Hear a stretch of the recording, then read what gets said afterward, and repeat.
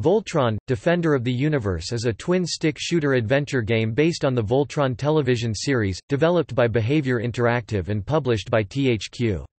The game was released on November 29, 2011 for the PlayStation Network and released on November 30, 2011 for the Xbox Live Arcade.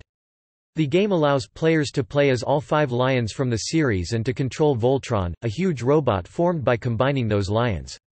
The game received mixed reception among critics. Some reviewers were critical of the Voltron robot gameplay sequences, yet others praised the lion sequences. Most critics spoke highly of the fan service given. The game is now delisted and not available for purchase.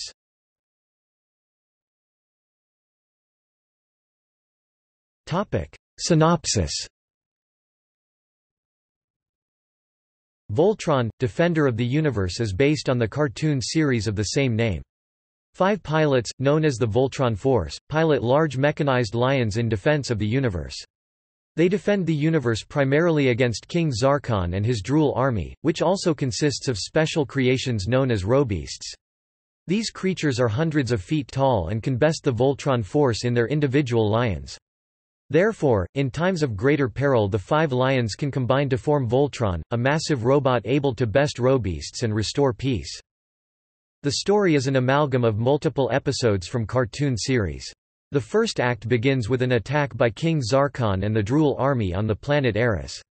Much of this act revolves around the Voltron episode The Missing Key, including Voltron's first battle with a Robeast.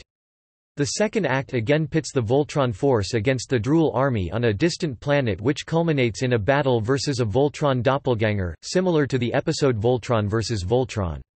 The final act is similar to the Voltron episode Zarkon becomes a Robeast in that the Voltron force must face a Robeast-sized King Zarkon in the game's final battle.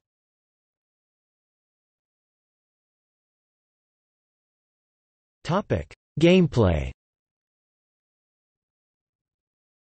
Voltron, Defender of the Universe is played primarily as a twin-stick shooter.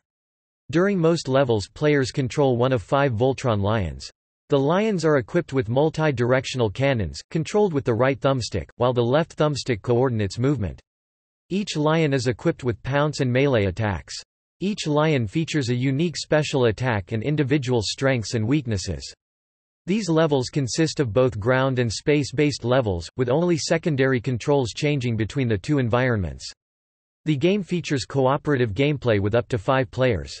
Up to two players can play on a local machine, and the game supports any combination of local and online players up to five.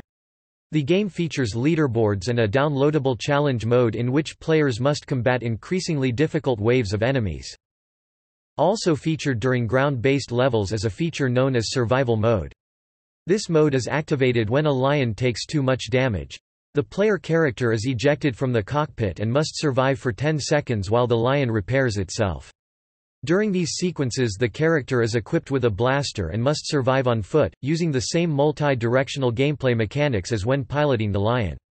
Once the 10 seconds have elapsed the player character can re-enter the Lion's cockpit and resume normal gameplay. Players can also find collectible items throughout the level which can provide their character with an extra life or additional, temporary features such as enhanced firepower. During boss battles the Lions merge to form the Voltron robot. Gameplay during these sequences is turn-based and also relies on quick-time events. When playing with two or more players control is shared, one player chooses the attack while all others attempt to move their reticule to the center of the targeted area. Regardless of the number of players a sequence begins by choosing one of four attacks, after which a quick-time event occurs. During the enemy's turn players can defend by performing a similar quick-time event. Once the enemy's health is depleted a final event occurs in which Voltron forms its blazing sword to dispatch of the villain.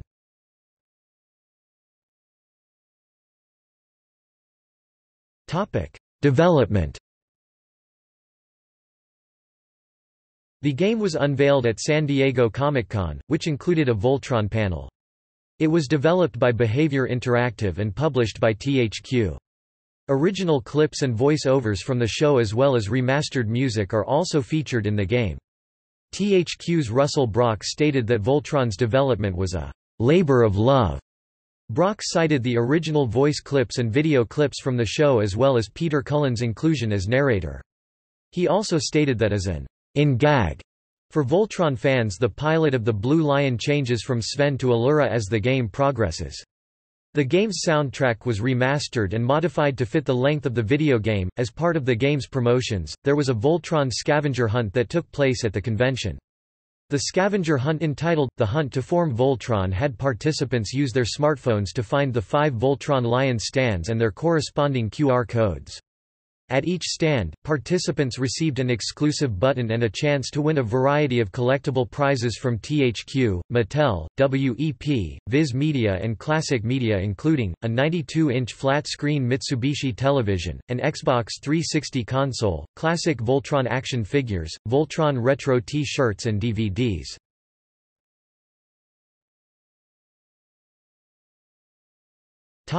Reception Voltron, Defender of the Universe received mixed to unfavorable reviews from critics. On aggregate website Metacritic the game holds a score of 51 out of 100 on the PlayStation 3, while the Xbox 360 version has a score of 48 out of 100. Fellow aggregate site GameRankings reports slightly higher scores, with the PlayStation 3 version averaging 57.25% and the Xbox 360 version a score of 54.94%.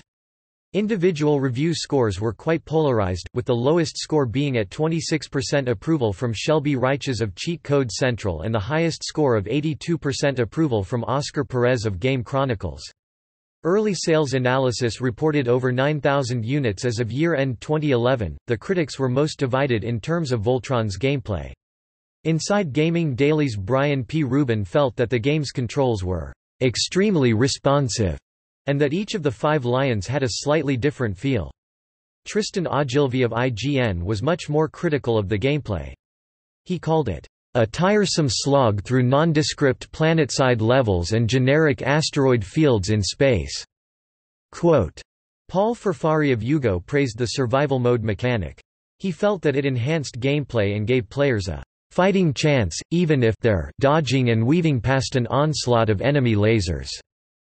Critics were mostly unified in the opinion that the game paid fan service to those who follow the series. GameSpot reviewer Kat Bailey felt the inclusion of original voice and film clips from the show lend s a nostalgic flavor. UGO's Paul Furfari agreed and said, You can tell that the developers are fans of Voltron, particularly because they aren't shy with hitting your nostalgia bone. Tyler Rowe of Team Xbox also concurred. He stated that, You'll feel a blast from the past when you load up Voltron, Defender of the Universe." Further adding, the amount of nostalgia packed into the game may make it a worthy purchase for Voltron fans.